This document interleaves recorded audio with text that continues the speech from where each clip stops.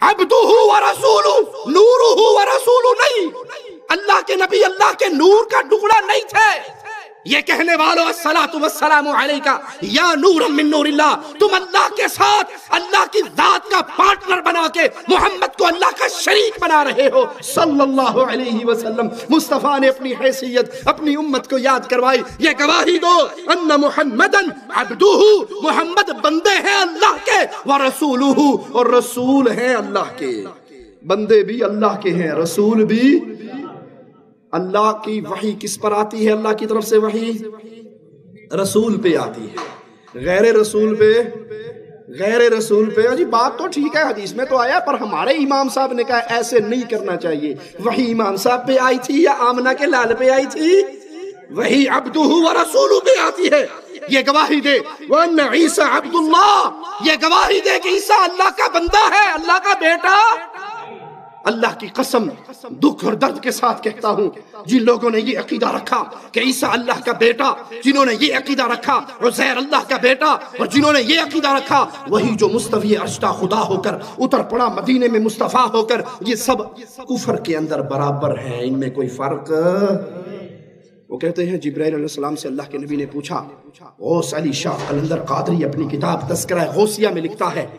اللہ کے نبی نے پوچھا، وہی کہاں سے لاتے ہو؟ کہا جی سدت المنتہا کے نیچے کھڑا ہو جاتا ہوں، وہی آتی لے کے آپ کے پاس آ جاتا ہوں۔ کہا، کبھی دیکھا ہے وہی کرتا کون ہے؟ کہا، کبھی حوصلہ نہیں ہوا۔ کہا، اب جاؤ تو ذرا جاتی مار کے دیکھنا، وہی آ کہاں سے رہی ہے؟ جبرائیل نے پرواز شروع کی، آواز کی طرف چلتے گئے چلتے گئے، عرش پہ پہنچے، پردہ ہٹا کے دیکھا تو خود محمد وہی کر رہے تھے۔ انا للہ و انا الیہ راجعون۔ جبرائیل نے وہیں کھڑے کھڑے مدینے میں چاتی مار کے دیکھا تو محمد مدینے میں بیٹھے ہوئے تھے۔ اس نے پھر اوپر دیکھا تو وہاں پھر ہاتھ باندھ کے کھڑا ہو گیا۔ میں نو نہیں پتا تو او ہیں یا او تو ہیں۔ انا للہ و انا الیہ عبدہ و رسول محمد کریم اللہ کے بندے، اللہ کے رسول، عیسیٰ اللہ کے بندے، اللہ کا کلمہ جو اللہ نے مریم کی طرف القا کیا۔ اللہ کی بھیجی ہوئی روحوں میں سے ایک روح جو یہ علاوہ کسی کو معبود نہ مانے۔ محمد کریم کو اللہ کا بندہ رسول مانے۔ عیسیٰ کو اللہ کا بندہ کلمہ مانے۔ اللہ کی پیدا کردہ روحوں میں سے روح مانے۔ اور پھر یہ گواہی دے، وَشَهِدَ أَنَّ الْجَنَّةَ حَقْ وَأَنَّ النَّارَ حَقْ۔ جنت حق ہے، جہنم حق ہے۔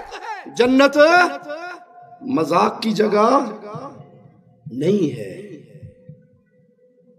جنت حق ہے جو اس حق ہونے کا انکار کرتا ہے۔ وہ وادی ایمان سے نکل جاتا ہے۔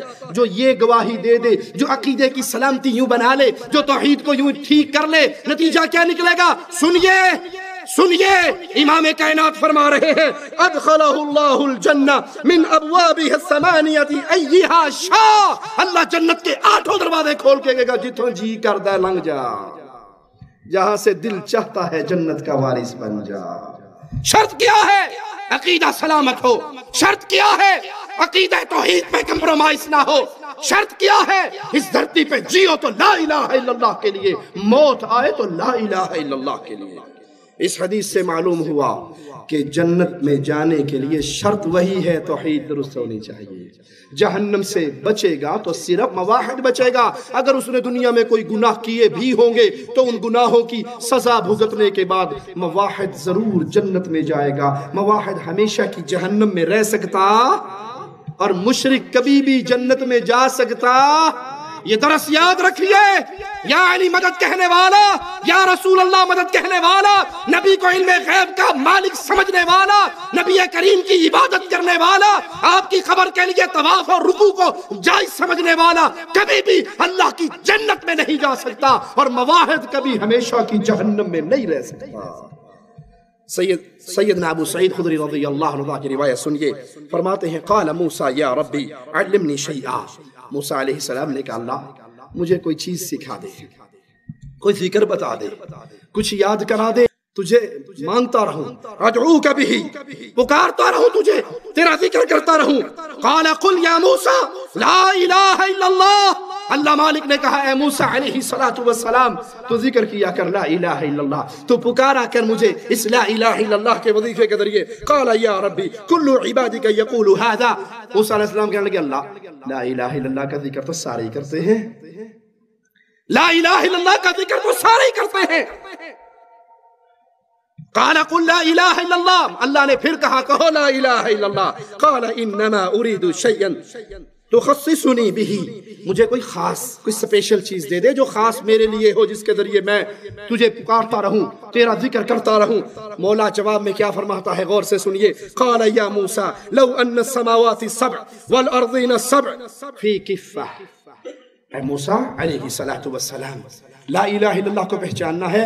اگر سات آسمان، سات زمینیں ایک پلڑے میں رکھ دی جائے، سات زمینوں کے رہنے والے سات آسمانوں کی مخلوق دوسری روایت میں ایک پلڑے میں رکھ دی جائے۔ وَلَا إِلَهَ إِلَّا اللَّهِ، فِي كِفَّةِ۔ اور دوسرے پڑھنے میں صرف لا الہ الا اللہ رکھ دیا جائے۔ ایک پڑھنے میں سات آسمان۔ پیارے نبی فرماتے ہیں، ایک آسمان کی موٹائی پانچ سو سال کی مسافت، ایک آسمان سے دوسرے آسمان تک کی مسافت۔ پانچ سو سال کے برابر آسمان میں اللہ کے ملائکہ اتنی کثرت سے اللہ کے فرشتے ہیں کہ اللہ کے گھر کا طواف کرتے ہیں۔ ستر ہزار فرشتہ روز طواف کرتا ہے۔ جو ایک دفعہ کر لیتا ہے دوبارہ اس کی باری نہیں آنی، آسمان چیختا ہے اور حق ہے آسمان کا چیخے، کیونکہ آسمان پہ چار انگلی کی جگہ بھی ایسی نہیں ہے جہاں پہ اللہ کا کوئی فرشتہ سجدے اور رکوع کی حالت میں اللہ کی تسبیح بیان نہ کر رہا ہو۔ اتنی بڑی مخلوق اللہ کے ملائکہ کی، پیارے نبی فرماتے ہیں، میں نے جبرائیل کو دیکھا، اس کے پروں کو گینا چھ سو پر تھے جبرائیل کے، میں نے جبرائیل کو پھر کسی موقع پہ دیکھا، آسمان نظر نہیں آ رہا تھا۔ جبرائیل کے پروں میں سے صرف دو پر کھلے ہوئے تھے۔ آسمان ساتوں، آسمان کی مخلوق، زمینیں ساتوں، زمینوں کی مخلوق، سمندر، ہوا، پہاڑ، دریا، جنات، انسان، درندے، چرندے، ایک پلڑے میں رکھ دیا جائے۔ لا الہ الا اللہ، لا الہ الا اللہ، لا الہ الا اللہ، ایک پلڑے میں رکھ دیا جائے۔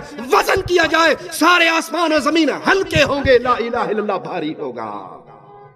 ہماری یہ دعوت کیوں ہے؟ لوگوں یہ کنجی ہے جنت میں جانے کی، لوگوں عقیدے کی اصلاح۔ جنت کا سب سے بڑا دروازہ ہے، توحید سمجھ آئے گی تو جنت ملے گی۔ موسیٰ علیہ السلام کو لا الہ اللہ کی عظمت بتانے کے لیے مولا نے کتنا پیارا کتنی پیاری مثال دی۔ یہاں یہ یاد رکھیے، یہاں لا الہ اللہ پڑھنے سے مراد اس کو سمجھ کے، یقین کے ساتھ پڑھنا ہے۔ خالی تسبیح پھیرنے کا فائدہ، خالی رٹے مارنے کا فائدہ۔ لا الہ الا اللہ بھی کہتے رہو، یا علی مدد بھی کہتے رہو، یا لا الہ الا اللہ بھی کہتے رہو، یا رسول اللہ مدد بھی کہتے رہو، لا الہ الا اللہ بھی کہتے رہو، ہاتھ میں تعویز اور من کے امام سامن بھی باندھتے رہو، لا الہ الا اللہ بھی پڑھتے رہو، کوٹھی پہ کالی ہنڈیا بھی رکھتے رہو، لا الہ الا اللہ بھی پڑھتے رہو، ٹوڑی گاڑی کے آگے جوتی بھی باندھتے رہو، لا الہ الا اللہ بھی پڑھتے رہو، بھینس کے گلے کے اندر ڈل بھی باندھتے رہو، لا الہ الا اللہ بھی پڑھتے رہو بابے دھنکے کے ڈنڈے کھاتے رہو، لا الہ الا اللہ پڑھتے رہو توتے شاہ کا نمک چاڑتے رہو تو اس لا الہ الا اللہ کا کوئی فائدہ ہو سکتا؟ یہ لا الہ الا زبان کے رٹے نہیں ہیں۔ یہ ایمان ہے، یہ عقیدہ ہے، یہ پکار ہے، یہ آواز ہے۔ میرے اگر گھر میں بچہ نہیں ہوا، شادی ہوئے دس سال بھی گزر گئے، کہنے والوں نے کہا فلا بابے کی نظر چڑھا دے فلا پیر کے گیڑے مار دے فلا بابا ابن شاہ کے گھر کا گیڑا مار آ۔ لا الہ الا اللہ آواز لگاتا ہے۔ ساری عمر بغیر اولاد کے رہنا، لا وارث مر جانا قبول ہے۔ رب کا در چھوڑ کے مردوں کے در پہ جھکنا قبول۔ یہ ہے لا الہ الا اللہ۔ یہ عقیدہ ہے، یہ جماعت ہے، یہ منہج ہے، یہ تحریک ہے۔ یہ اللہ کے علاوہ کسی کی عبادت کرنے کے لیے تیار نہیں ہوتا۔ وگرنہ تو لا الہ الا اللہ کی تسبیح کرنے والے تھوڑے۔ انڈیا پاکستان میں نماز ختم ہونے کے بعد سب سے زیادہ زور سے اسی کی بات آتی ہے نا؟ پھر ترقی کرتے کرتے لوگوں نے کہا جی یہ لمبا ہے، لا الہ الا اللہ، وہ مختصر کرنے لگے، الا اللہ الا اللہ الا اللہ لا الہ الا پارٹی الگ ہوگی، الا اللہ والی الگ ہوگی، الگ الگ دونوں کا ذکر ہو رہا ہے۔ ستر ستر ہزار مرتبہ لوگوں نے پڑھ کے رکھے ہوئے ہیں۔ ایک خان صاحب بھی لکھتے ہیں اور ایک شیخ صاحب بھی لکھتے ہیں۔ شیخ الحدیث نے بھی لکھا ہے اور خان صاحب نے بھی لکھا ہے۔ پردے دار ہے پردے میں نام رہنے دو۔ لکھتے ہیں کہ ایک نوجوان کے بارے میں مشہور تھا۔ وہ دنیا میں بیٹھے بیٹھے دیکھ لیتا تھا جہنم میں کیا ہو رہا ہے۔ کشف تھا بڑا اسے۔ کشف نام کی دنیا میں کوئی چیز نہیں ہے۔ علم غیب کا دعویٰ کرتے ہوئے ڈرتے ہیں مشرق کا فتوہ لگے گا تو چھوٹی بہن بنا لی کشف کے نام سے۔ کہا، کشف ہو جاتا تھا اس کو۔ ایک دن بیٹھے بیٹھے زور سے رونے لگ گیا۔ کسی نے کہا، کیوں رو رہے ہو؟ کہ میری ماں جہنم میں جل رہی ہے۔ اس پیر صاحب نے ستر مرتبہ، ستر ہزار مرتبہ لا الہ الا اللہ، لا الہ الا اللہ، لا الہ الا اللہ کا منکا پھینکا ہوا تھا۔ اس نے دل ہی دل میں بلٹی کر دیا۔ بلٹی سمجھتے ہو؟ حیدرآباد ٹرین سے بلٹی کرو بمبئی میں چھڑا لو۔ اس نے بھی بلٹی کر دیا بلٹی چھوٹ گئی۔ ٹھٹھا مار کے ہنس پڑا۔ کہا، چچا، میری ماں جہنم سے نکل کے جنت میں جا رہی ہے۔ اس چھوکرے کو پتا لگ گیا کہ میری ماں جہنم میں جل رہی ہے۔ جس صحابی نے دوسرے صحابی سے کہا ہنی الجنہ، اس کو نہیں پتا کہ خیبر کی ایک چادر آگ بن گئی ہے۔ تم نے اپنے پیروں کو صحابہ سے بھی بڑھا دیا۔ انا للہ و انا الیہ راجعون۔ یہاں لا الہ الا سے مراد کیا ہے؟ سارے تواغیت کا انکار ہو کہ اللہ کے علاوہ کوئی نہیں جس کی پوجا کی جائے۔ پوجا کا برحق مالک صرف اللہ ہے۔ لا الہ انکار الا اللہ۔ بولو، اقرار۔ لوگ کہتے ہیں جی ہاتھوں ہوڑا رکھیا کرو۔ گفتگو، حکمت سے کیا کریں؟ نرم بات کہا کریں؟ ارے ہمیں، ہمارے کلمے نے ہمیں ہولا ہاتھ رکھنا نہیں بتایا۔ پہلے کلمے نے تلوار چلائی، لا الہ۔ کاٹ تو کتنے جو اپنے سامنے پیروں، مریدوں کو بٹھا کر جھکواتی ہیں، کاٹ تو ان کی گردنیں، ان کی عبودیت، ان کی الوحیت ان کی عبادت کا انکار کرو۔ کہو، لا الہ۔ کوئی مردہ داتا نہیں، کوئی مردہ غریب نواز نہیں، کوئی حکومتیں نہیں بانٹتا، کوئی نہیں۔ جس کے بارے میں کہا جائے شہباز، کرے پرواز، جانے راز دلان دے ہمارا شہباز پرواز کرتا ہے، دلوں کے راز جانتا ہے۔ اس کے مزار پہ اس کی زیارت کے لیے جانے والی بس الٹی ہوتی ہے، دو سو بندے مر جاتے ہیں، ستا ہی رہ جاتا ہے۔ اس کو نہیں پتا، مریدوں کا بیڑا غرق ہو گیا۔